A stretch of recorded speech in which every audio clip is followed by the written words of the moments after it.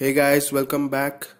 In this video, I'm going to show you how to insert emojis in your HTML file in very simple and quick way. So let's begin.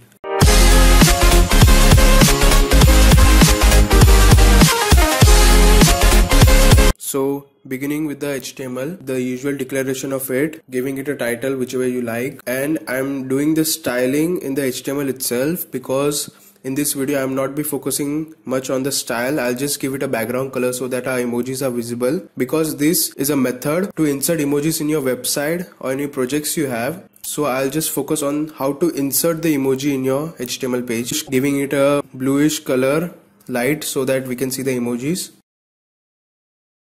So now I'm using a p tag. And between the opening and closing of the p tag I'll insert a code. Which goes by ampersand hash x and a value which is 1f608 and a semicolon. Now if you will save this and open in your browser you'll see an emoji. So that's it. If you want to insert any emoji you have to just find the right code and insert it in this fashion only and you will get the emoji on the screen. Now the question is where to find the code.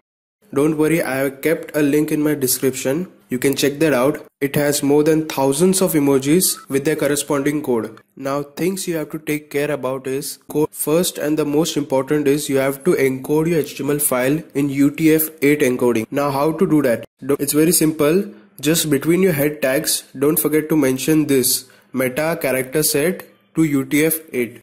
Now what will this do is it will force any browser to render your HTML code as UTF-8 encoding.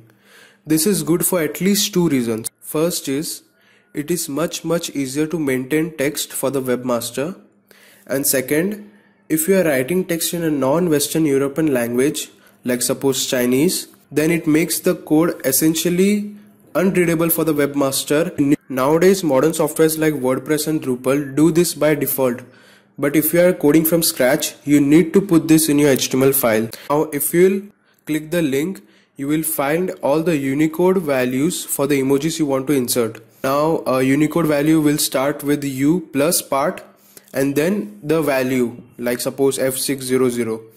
First thing you want to do is replace U plus with ampersand and hash. Now in HTML anything beginning with ampersand hash and ending with a semicolon indicates that it is a special character. Now the X part of the escape code indicates to the browser that what it is to follow is a hex code. Unicode values usually are represented in hex code. So that's it. So if you want to insert any emoji, just copy the Unicode from the list, replace U plus with ampersand hash, add an X and end it with a semicolon and you'll get that emoji on your screen.